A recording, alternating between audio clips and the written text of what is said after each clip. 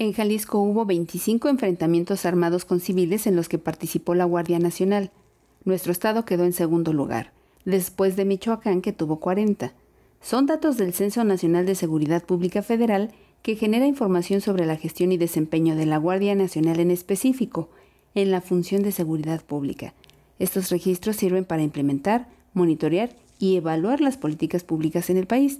De acuerdo con este censo del INEGI, en 2023 Michoacán, Jalisco y Sinaloa concentraron 39% de los enfrentamientos en los que participaron elementos de la Guardia Nacional.